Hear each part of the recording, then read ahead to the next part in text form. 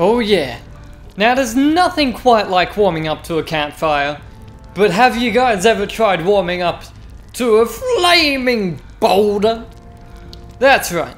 I didn't think so. Hey there everybody, welcome back to Jak and Daxter, the Precursor Legacy. This is Spiraling Helix. In the last episode, we made our way through Fire Canyon to this place right here. With a crying dude, because this is Rock Village, so called not because of the fact that it's made around rocks, no, more because that guy up there is raining down giant rocks. Anyway though, in this episode, I'm gonna talk to this guy before we head off to our main destination. Ah, oh, no, not another hero. I lost my shorts on this so-called hero's big fight against the monster up there. Trust me, the smart money's on the monster. That wager pretty much tapped me out. So, I got a proposal. Bring me 90 orbs to get me back on my feet and out of this barrel, and I'll give you a power cell in return. And if you're game, I do have one more bet online. My big comeback. Beat the record time racing Dead Man's Gorge in the Precursor Basin, and I'll get a pretty payoff. For that, I'll give you another power cell. Sure thing, dude. In fact, I like you so much with your interesting set of clothes that I'm gonna give you some power or blah, blah, blah, precursor orbs right now. Whoa, yeah! These orbs will help me win my way back out of this barrel. Here's the power cell I promised. Yeah! And we look so happy next to that guy in the background. Oh my goodness. Anyway, though, we now have so many goals for the Precursor base, and I mean, already got three power cells that people want, on top of the scout flyers that we know are going to be in there.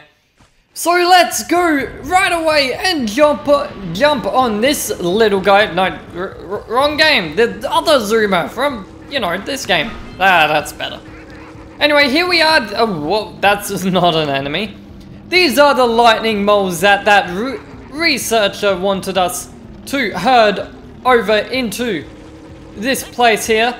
You do have to actually be close to them when you do. Actually, I mean when they words when they run over the. Okay, that one's long gone. Let's deal with this one.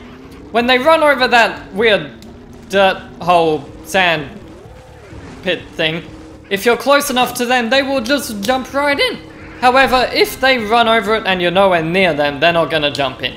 Um, can you please run round? There we go. No, what are you doing? What are you doing? No, stop! Oh my goodness.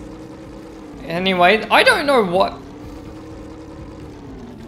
Why on earth are you called lightning moles? You look nothing like moles, and you're not shooting any lightning off. So, please tell me why. Thank you. Anyway, just this one left, I believe. Please let it be this one left. And you're going right in there. And, whoa! No, no, no, no!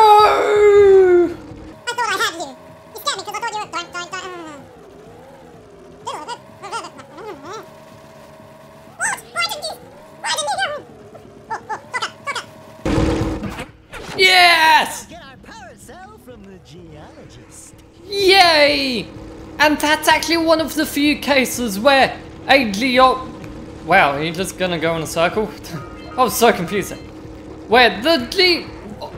Geologists? Geologists don't care about animals. They care about rocks. That's a weird person. Anyway, you did not get confused. I did not get hurt there. In fact, I did damage to the thing. I was already on one health. There are many...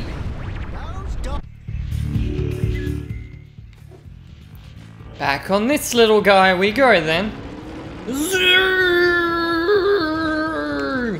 As I was trying to say though, these weird flying lurkers that look like they're wearing diapers in all honesty. They... Like, they're all around this place. Killing them all will net you another power cell. Just like doing absolutely everything in this game does. However, I highly recommend that you do hop into them when you get close and boom! Nice. I think that's actually... I usually don't deal with those lurkers that quickly, so I'm just gonna grab the power cells around here, and there's that race course actually that the guy in the barrel wanted us to do. Gotta get this scout fly. Thank you. And I believe it's just these orbs here. And those orbs, I'll say it again. Avoid the dark eco boxes!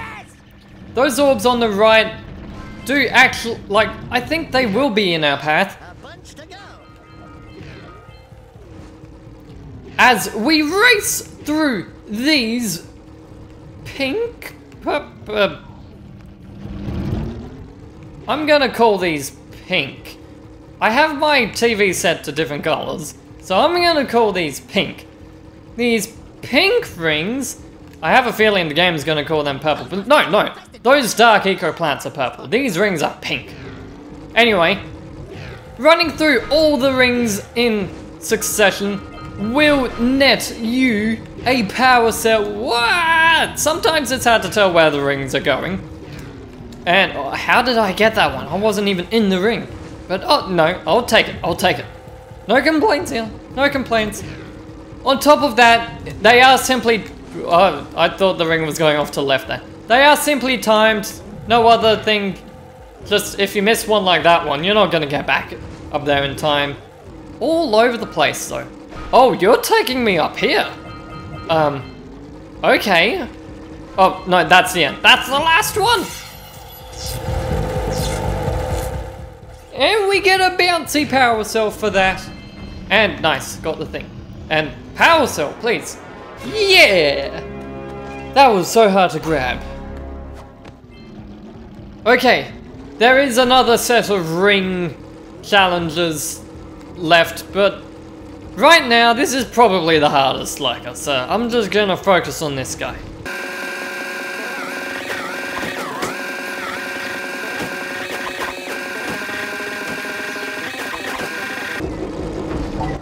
And I got him! I got him! Oh, thank goodness. By the way, if you are having trouble, it's not a bad strategy to turn around and go the other way. However, in saying that, when you do that, sometimes you... Like, it will turn around very fast. And what? You're going down? Also, clearly, with that one going through... Where, where do you go? Where do you go? There you are. With that one going down through there, obviously, probably not even possible to go the other way with this one. Because he'll, if you go the other way, he'll go up through this hole. Which is, you know, gonna be a bit tough to catch. Thankfully, you can cut a lot of this corner off. And boom! With that, that's every lurker. So we get a power cell, like doing absolutely everything in this game gives us. Good flying! Those lurkers were no match for your Zoomer. That's one more power cell. Yeah!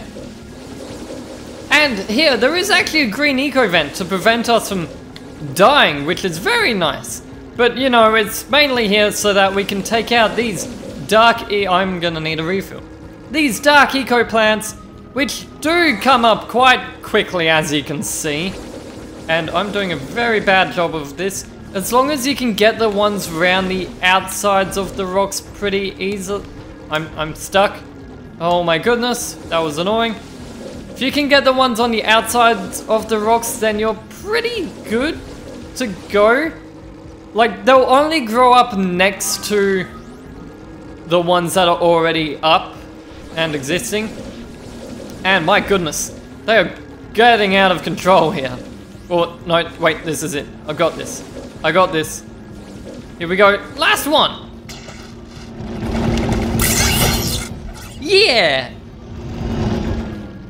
And give me that power cell, please. I kind of want you. Yeah. But yeah, I just love seeing green e- eco vents and getting that full heal.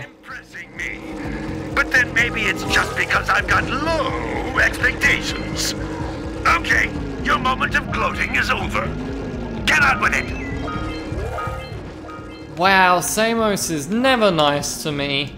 Ever. Or maybe it's never nice to Daxter. I can never really tell. Anyway though, let's head up here and collect a few more things.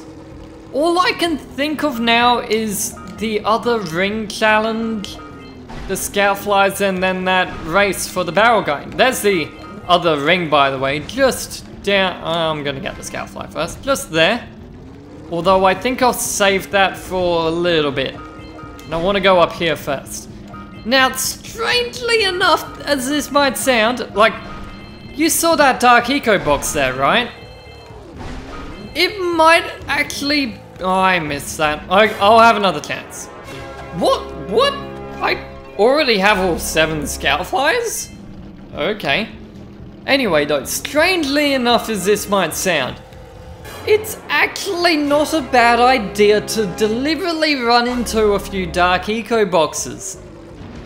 As long as you keep going back to that green eco vent down there, they actually stay out of your way for when you're doing those ring challenges, which is a lot more helpful than you would think. Anyway, I'm just gonna grab this orb. Wait, I, I didn't mean to fall. Oh wait, no, I missed, I missed a hard crate. Right, it's okay. Ring challenge, let's go. Okay, and jump. There's the next ring. This one can be quite hard. So hopefully I don't mess it up. Now, the reason why I say it's hard is simply because it's hard to know where the rings are going to go. Like, that's it. I really struggle to know where the rings are going. By the way, you can jump off that rock there. Also, sometimes you don't need to hit the jump buttons, but if something's ever, like, elevated a fair bit off the ground and there isn't a ramp like that, for, like, per se. By the way, that is, like, the worst jump ever. Sometimes it jumps you to the ring, sometimes it doesn't. But yeah, and oh, are you seriously avoiding the precursor orbs there? Come on! It can be hard to tell where these rings are going, and I struggle with it. You're going. So, see, I wouldn't. I would, did not think it'd go though. I thought it would go right. Okay, this bit's particularly annoying. Like, you could easily not see that one there. And then you're going. See, look, look at that U turn. What on earth is going on? I believe this one's going left, by the way. Yeah. And now it's pretty easy to follow them. It's, as long as you stay up here, you won't miss any. And please don't miss any. I've come this far. I can't go back now. And brief. Yeah.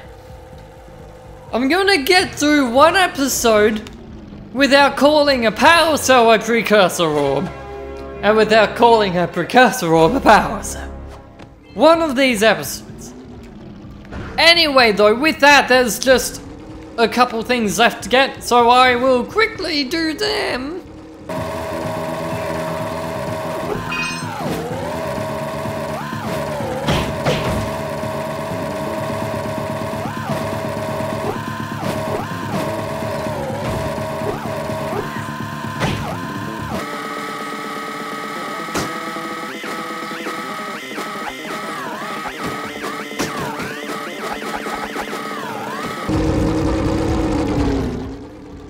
Just realized?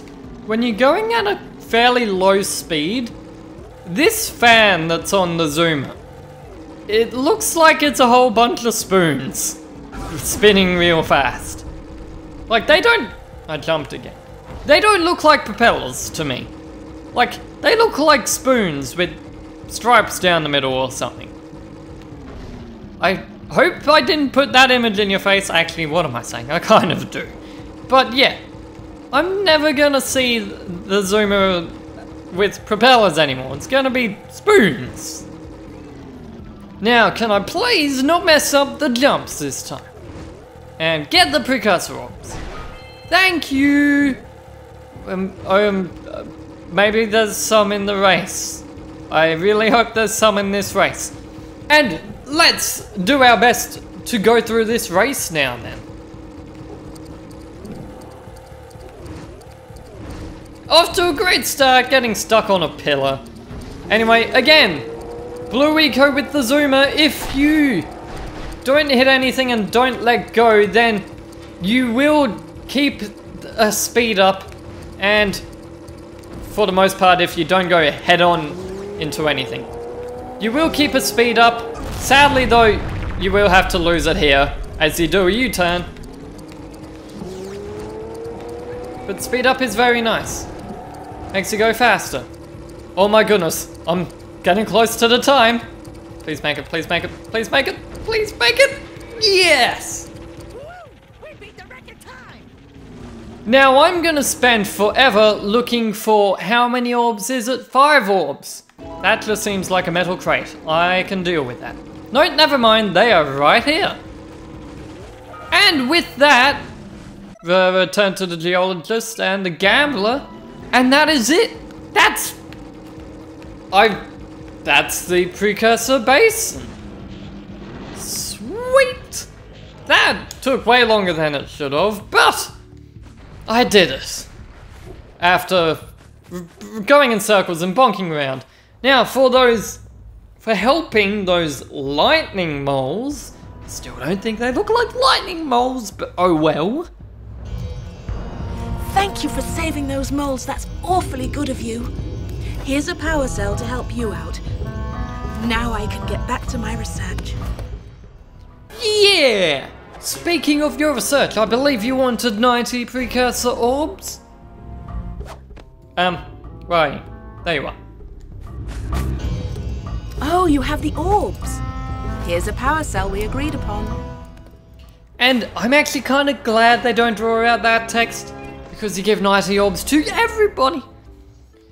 Anyway, it's 120 precursor orbs for each power cell from that guy, so I won't do them yet. But I believe the gambler still owes us a little something. Let's see. Let's get our payment off him. Oh, great moves, kid. I knew that time record would fall. Now here's your power cell, and I can go collect my big payoff. Yeah. And with that, we already have enough pre sorry, power cells to actually go fight that thing up there. Funnily enough, I believe you, we might even be able to see Keira over there now. Yes, you can. But before I do that, and before I end off the episode, I think we should go make a nice quick return to old Samos the Sage. Just because I haven't talked to him in quite a while. And by that, I mean the very last episode. But hey, he, he, he's funny, right? Let's go see what he has to say now that we've helped him out at the precursor base. Well, I hope you packed a lunch, because we're just getting started. According to the Blue Sage's notes, lurkers have infested the swamp across the bay. Apparently, they're planning to use a dirigible to lift an important precursor artifact from the buck. You're going to have to get over there to dislodge their tethers. Who knows what they might want with the artifact? But like orange stuff here's breath, it just can't be good. Okay, Samos. I got it. Go to the swamp and stop the lurkers. Oh, that's not the swamp. Go to the swamp and stop the lurkers. Again. But with that, guys, we now have our objectives, and like a, any good old adventurer, we are going to completely ignore the old man mentor and go to this place instead, the Lost Precursor City. So, this has been Spiraling Helix. I'll see you guys next time, everybody. Bye bye.